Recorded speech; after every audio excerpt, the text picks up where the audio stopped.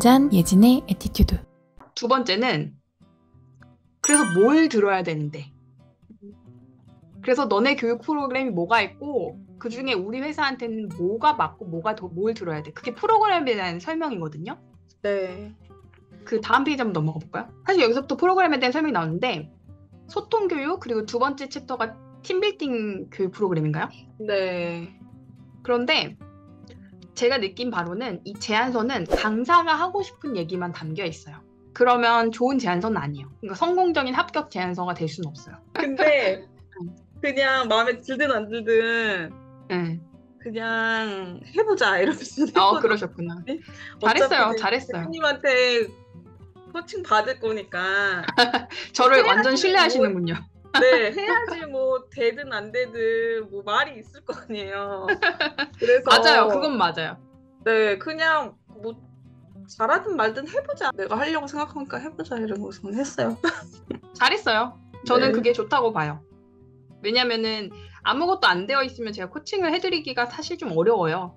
근데 어떤 거든 만들어 오셨기 때문에 제가 지금 어떤 얘기를 피드백을 계속 지금 나오거든요 생각들이 저도 보면서 나오지 아무것도 없는 상태에서는 아무 말도 해드릴 수가 없어요 저도 이 신이 아니기 때문에 네. 네. 근데 일단 지금 강사님께서는 지난번에도 너무 저- 준비를 잘 해주셨기 때문에 제가 드리고, 드리고 싶은 말들이 되게 많았고 오늘도 마찬가지인데 네. 핵심은 강사가 하고 싶은 말만 줄줄 줄줄 얘기하는 느낌이에요. 이 제안서는. 음. 그래서 제가 봤을 때는 여기서부터는 그냥 쭉쭉쭉쭉쭉 그냥 페이지 넘어가면서 보다가 끝 음, 이렇게 될 거예요. 음, 제가 만약에 고객사. 담당자라면. 음, 그래서 여기서 좀그 개선했으면 좋아 좋을 것 같은 느낌은 네.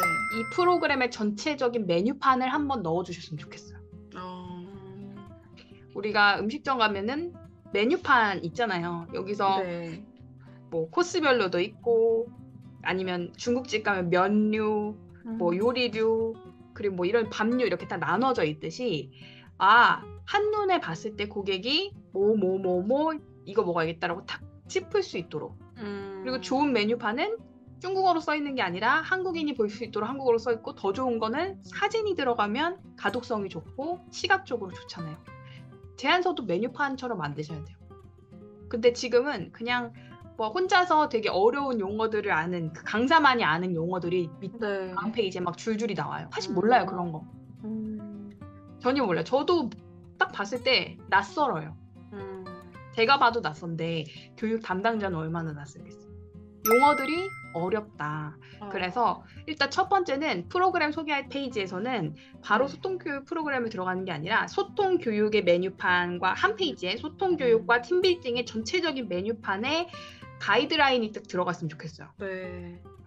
그리고 딱 한눈에 아웃라인이 딱 그려, 그려져야지. 이 사람 봤을 때. 아, 이 다음 페이지에서는 프로그램 소개가 나오는데 음, 한눈에 봤을 때, 아, 소통 교육은 여섯 가지 프로그램, 팀 빌딩은 뭐 다섯 가지 프로그램으로 메뉴가 있구나. 근데 여기서 더 좋은 메뉴판은 저는 이렇게 하거든요.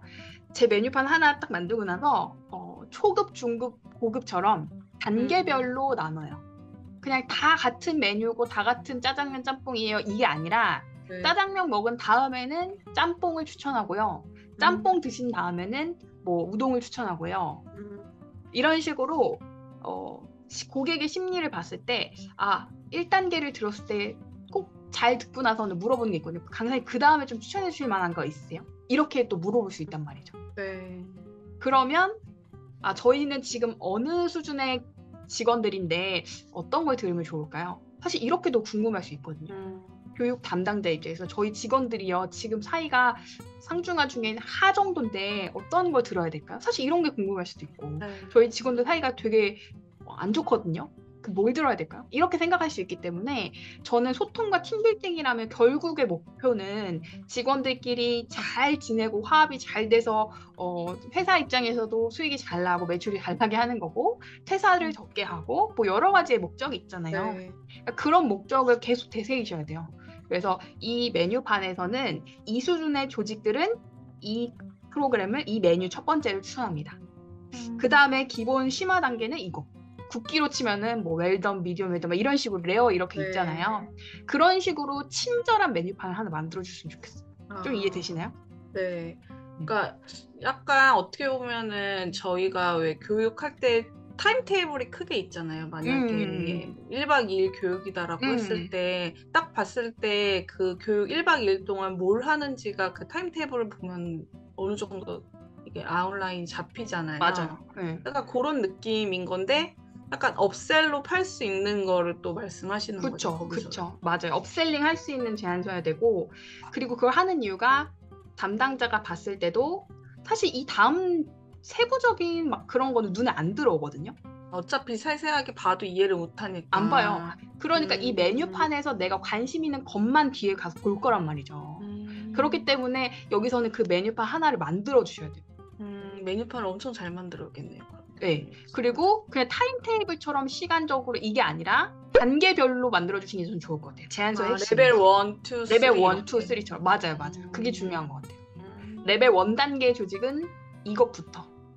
2, 3 이런 식으로 화살표로 표시를 하던 뭐 레벨 네. 1으로 표시를 하던 그런 식으로 좀 단계별로의 소통. 그러면 강사님의 1단계를 들었을 때 너무 마음에 들고 너무 좋았으면 네. 강사님 두 번째 단계도 의뢰할게요. 세 번째 단계 드릴게요. 이런 식으로 연관 교육으로 이어질 수 있다는 거죠. 근데 이렇게 지금 이 제안서만 봤을 때는 뭔가 하나가 들어와도 그냥 단타성의 교육밖에 안 돼요. 음. 그래서 메뉴판이 일단 필요하다. 그래서 뭘 들어야 되는데 여기에 대한 답이 없어요 지금. 강사님은 뒷장에 다 소개되어 있는데요. 아니요, 그거는 강사님이 하고 싶은 얘기. 강사의 시선에서 만든 제안서예요. 음. 사실 그 장표는 담당자들 거의 안 들어올 거예요 눈에. 저도 눈에 안 들어와요.